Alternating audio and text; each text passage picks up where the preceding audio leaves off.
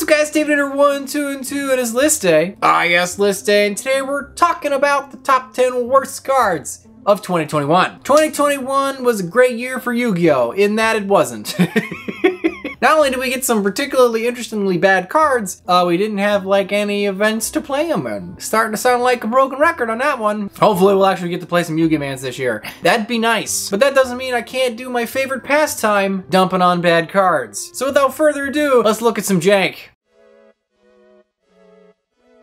Number 10 is Glacial Aqua Madoor. What the hell is a Madoor? Level 6 Water Spellcaster, 1200 attack, 3k defense. That's a big, big booty. That's a thick ass mod! But you know what? It's the year 2022, and uh, we, we, we really are way far flung from tribute set hope they run into it. So, uh, this thing better do something. At the start of the damage step, if your normal monster, oh, here we go already. Battles an opponent's monster, you can reveal this card, discard a card. I don't know why it's not just discard this card, but sure. And if you do, uh, your monster can't be killed by battle. Big, big whoop. If you're playing a normal monster, it's probably big number, because otherwise what the hell are you doing? So I don't know why you need this. But it also has a field effect because of course it does. At the start of the damage step, if this is the thing that's fighting, you can reveal a normal monster in your hand, discard one card, and if you do, destroy the monster you're fighting. Why isn't it just that effect? Why aren't they both just that? Depending on who's in the hand and who's on the fit, whatever. Okay, so what what the hell are you supposed to use this in? Uh, is it that, that deck with the with the, the field spell that's like Umi and it summons a big token. What the hell is that freaking called? The one with it's like it's like spiral, but but not when not the spiral you think of when somebody says spiral in Yu-Gi-Oh. Or like Tenyi maybe? I don't freaking know. Who's playing normal monsters? This would be fun in Duel Links though. I think this would be cool in Duel Links. And you know what? I might play a deck with this card in it. Because I play bad deck. but Dave! My heart! My roaring ocean snake!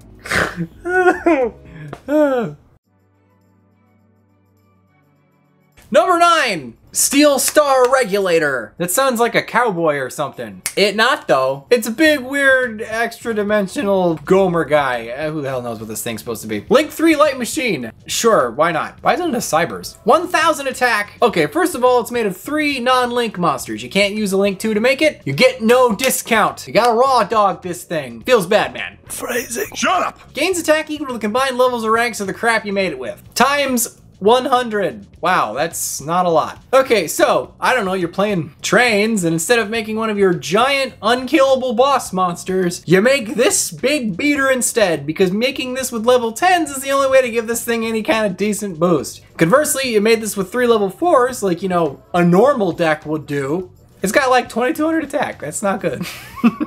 For a beat stick? Nah. It does have another effect though, that you can target a non-link monster your opponent controls, and if this thing has an attack that's equal to or higher than that, you can blow it up. And if you made this thing with an Xyz monster as one of its materials, you know, sinking more resources into it, your opponent takes some burn damage equal to half the destroyed monster's attack. Who cares? Jeez. You only use this guy's effect once per turn. It's a hard once per turn. You can't even just clear their board with it, because that would be okay. An ignition pop isn't the worst thing in Yu-Gi-Oh! It's a bit old school, but it's still it's still okay. It's an older code, sir, but it checks out. And it's gonna be big number, so if you're popped an opponent's monster and you can hit him with it, uh, at, at least, you know, they, you might you might have lethal if you made it big enough. But it has no self-protection, you used way too much to make it, and if you want to get its full effect, you used even more. But it's big number though. Maybe, maybe. Number eight, Pazuzu. It's Pazuzu.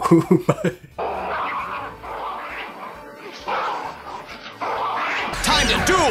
Yeah! I am so old. Level 1 Dark Fiend monster, scale 1. 500 attack and defense. Alright, so this one's a weird one. Its pendulum effect says you can target the monster in your other pendulum zone. This thing's scale becomes that monster's level. But if you do that, the only special summons you can conduct for the rest of your turn are pendulum summons. Okay, that is bad. This is a scale 1. So, unless you can somehow cheese this thing and make it a scale 0, if you are modulating its scale, you can only increase it, thus narrowing the range of the things you can pendulum summon. Unless the monster in the other zone is also a low scale but a high leveled monster, therefore you can use this to switch this thing to a high scale. Or you could just build your pendulum deck with proper ratios of high and low scales and not ever run into a scenario where you need to use this janky thing. It does have an okay monster effect though. Pendulum summons of your monsters cannot be negated.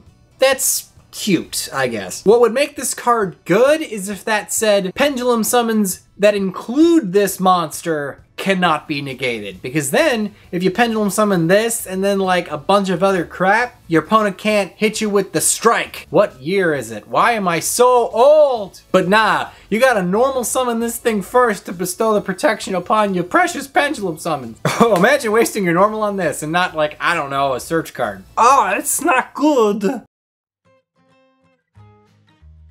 Number seven, Dispatch Parazzi. Dispatch Parazzi. That's not a pun, Jerome. Link 2, Dark Fiend. These are all just Dark Fiend monsters, aren't they? 100 attack. it's, a, it's a world ender. Made of two effect monsters. What do? When another monster you control is targeted for an attack, you can switch that attack to this thing and then perform damage calculation. This thing has 100 attack. That's just, this is just what your opponent's gonna swing into first anyway. But sure, let's say your opponent's an idiot and they attack anything else. Does it matter? Well, it has a second effect. It says, when this card is destroyed by battle with an opponent's monster, you can destroy that monster, and if you do, you gain life points equal to half that monster's original attack. Okay, so one of two scenarios are happening. Either A, they attack one of your good monsters and you redirect, have this thing blow up and kill their monster that they attacked with. The intent of the card. Or B, the more likely scenario, your opponent's gonna pick their stupidest guy, crash into this thing first, so it auto kills the stupid one and then proceed to obliterate your board. If your opponent takes three seconds to read it, its effect will never activate. because why would your opponent attack anything else? With anything else. They're going to attack this first with their shittiest dude. And you know what's even the worst part about this card? It's Link 2 that has like arrows like this, and we have like three other Link 2 monsters with like identical arrows in the game that bestow better battle protection. I'm so mad about this card. Why am I so mad? Number six, reinforcements of the army's troops. Oh god, that's a that's an awful mouthful. That's what she said! The cool thing about this card, besides its absolute bear of a name, is the fact that it is just the card it's referencing, Reinforcements of the Army, uh, from like a different perspective, which is kind of neat. Where Reinforcements of the Army makes like marauding captain and his boys look cool, this one makes them all look like a bunch of goobers. so I guess it's just, it's just framing, right? Can confirm, does make video. What do? This continuous spell card, ew. When an attack is declared involving one of your warrior monsters, you can special summon one warrior level 4 or lower monster from your hand. You can only use this thing's effect once per turn. Uh, yeah, because why would they actually want to make it good? Because if it was not once per turn, you could like boop, summon, boop, summon, boop, or something like that. You know, that'd be that'd be okay. It wouldn't be still wouldn't be great because it only worked on an open board with a bunch of level fours could even do anything with. But at least it'd be kind of fun but nah, it's bad. All right, so uh, what are you trying to do? You're trying to summon a guy during your battle phase to presumably use during your main phase two to make your combo plays that's clunky or i guess it's during your opponent's battle phase and you're really you really like causing replays. Surprise, motherfucker. you know what? If it was once per turn that'd be a pretty neat way to swarm the board during your opponent's battle phase. And i don't know if that'd be good still but it would at least be interesting. But nah it's just bad. I don't know what you're supposed to do with this. What it's summoning is probably some boneheaded main deck level 4 warrior that doesn't do anything other than become material for something in an extra deck play so it's not gonna live man. What are you doing? Crashing dying and replacing it immediately and you still only got one guy? This is stupid Number five, Laundry Trap. Ah, look, another continuous card. This time it's a trap card. Once per chain. Ooh, spicy. If a monster is normal or special summon, you can dump one card from the top of your deck to your graveyard. Oh, neat. You can take the Maxi challenge against yourself. Middle of your wombo combo. Activate this, and then you try to summon as much as you can before you deck yourself out. It's like that race with the NyQuil. If you got that uh, you're a degenerate. Besides being a really, really clunky and slow trap card method of setting up your graveyard, uh, it does actually have another function. That if this thing is sent from the deck to the graveyard, presumably by the effect of another copy of itself on the board, you can target a card in your graveyard that was also sent to the graveyard from the deck this turn, so not itself, and you can add that to your hand, but you can't activate it till the end of the turn, or use any cards like it or, or anything. It's just a dead card until next turn. It's any card, so that's at least cute. The best function would be a mill like your Imperial Order and you add it back to your hand. It's a great way for uh, getting unsearchable tech cards to your hand. However, it is through a random mill, so maybe it mills and adds the card that you were going to summon anyway. Not to mention, the best way to use this is when you're already going off anyway. So what are you trying to set up? I am I am unsure. Konami, stop making setup cards trap cards. All right, here we go. Number four is Fukubiki. Yo, it's your boy, Fukubiki. Fukabiki, Fuk, Fuk, Fubukibi. Fubukibi. Fukubiki can't be the proper pronunciation of this. Fubukibi?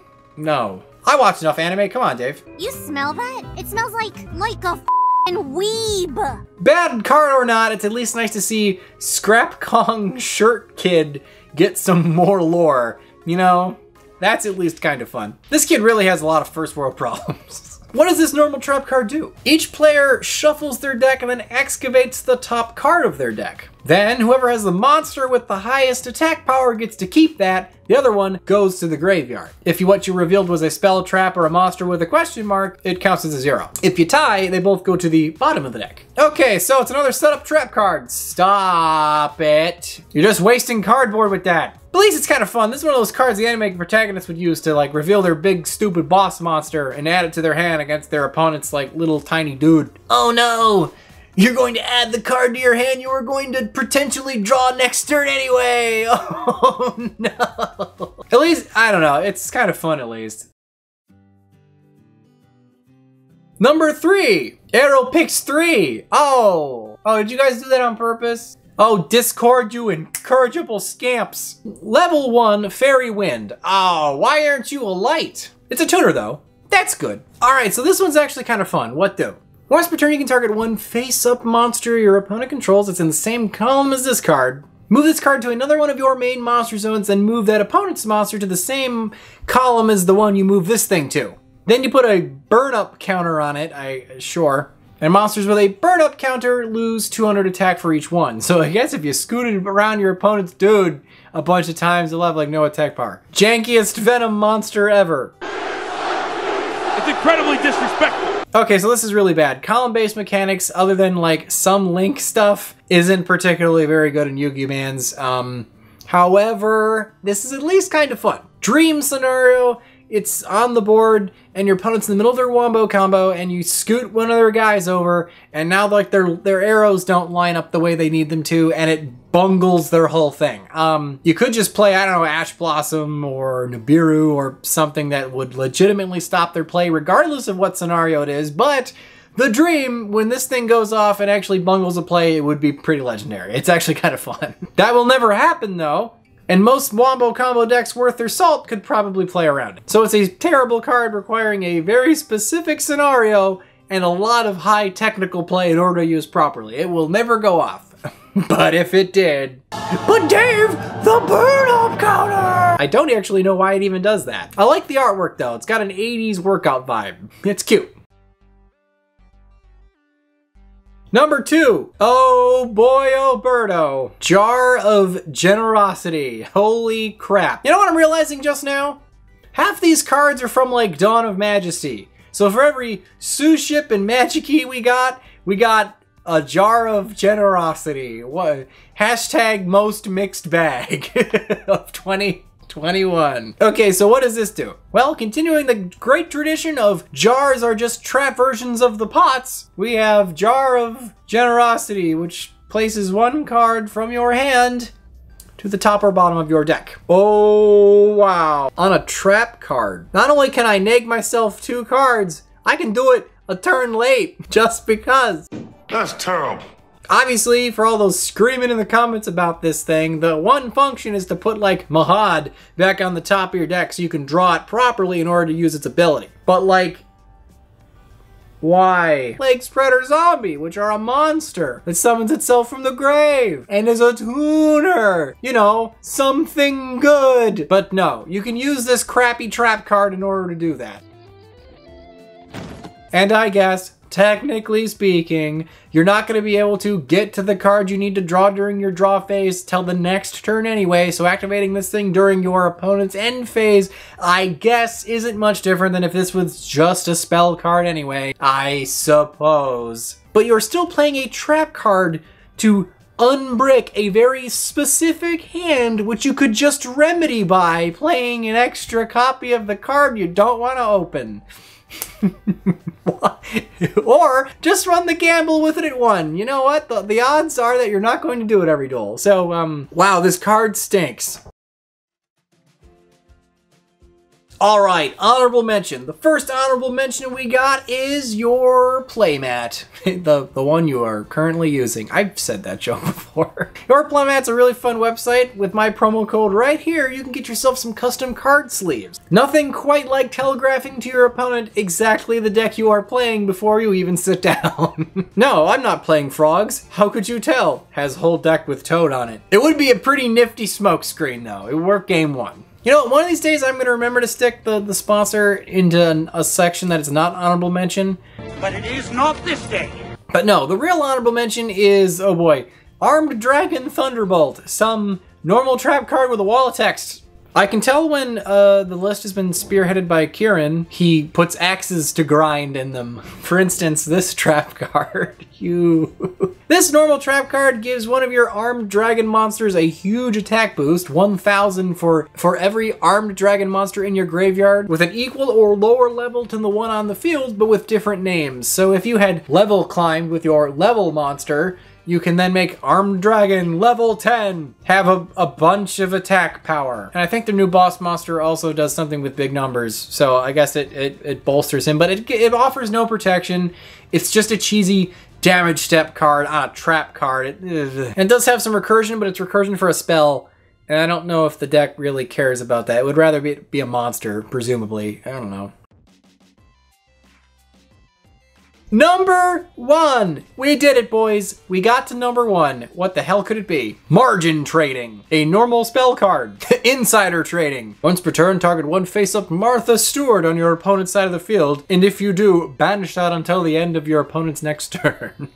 I am so old! Margin trading is a normal spell card that reads, your opponent can discard one card to negate this effect. Stop. That is so, so bad. It doesn't matter what the rest of the card says. If a card gives your opponent an option to negate it for free, without actually having a card that doesn't negate and waste one of their negates, it's bad. Because one of two things are happening. Either A, the card's really good, so your opponent's just gonna always negate it. It's just always negate it. You're never gonna get it off. Or, or two, the card isn't very good and your opponent's just gonna let it ride, so you don't even get the, the, the advantage of knocking a card out of their hand, and then you're also playing a bad card, which you could just not do. It's pretty easy, actually. There's 10,000 cards in the game, you only need 40 of them. It's gonna be super easy, barely an inconvenience. Oh, really? But yeah, uh, what does it do? Both players look at the other player's deck, pick a card out of it, and give it to their opponent. That's at least kind of fun. All right, best case scenario, your opponent is forced to give you a great card because your deck building is absolutely flawless and your opponent is a moron and he has bad cards in their deck or like a garnet, like a literal garnet or something, and you give that to your opponent. So they get a bricky card and they Sophie's choice to something decent to your hand. Best case scenario. Worst case scenario, both players are competent strategies and don't run a bunch of cards that, you know, they don't want in their hand, so then you both just get a good card and, and, and uh, you went minus one for it when you could not have uh, given your opponent something for free. That's real bad. It's at least fun though. It's at least fun. Alright guys, that was the list. I hope you enjoyed it. Some of these cards were uh, real bad. Number two, oh boy. At least it didn't give your opponent a resource like with uh, number one, but still, holy crap. But I hope you guys had as much fun as I did. Leave your comments down below if you think I missed something. There was a lot of bad cards. They were all in Dawn of Majesty. and remember guys, if you don't troll the meta wheel, I'll see you guys, uh, I'll see you guys for the first video of the new year. That's not a video talking about the last year. Probably a probably next main set. I don't know. just a quick special thank you to all my supporters over on Patreon. You guys make the whole channel possible. You guys have no idea how much it means to me that you guys do that. If you guys want to be part of the Goblin Attack Force, link for the Patreon down in the description below. What's up guys, Team Leader 1, 2, and 2, and it's list day. Ah yes, list day, and today we're talking about the top 10 worst cards of 2022 or what? Damn it, why don't I know what year it is? Raw dog, feels bad. Get that fuzzy out of my hair. Jesus. Penis, penis, penis, penis, penis, penis. Gains attack, you! Shit, I'm still laughing at that. Well, looks like they made it through the video. But you'd still be a slacker if you didn't subscribe up there. Maybe you should check out one of these other videos. Maybe then you'd actually be a decent opponent for me.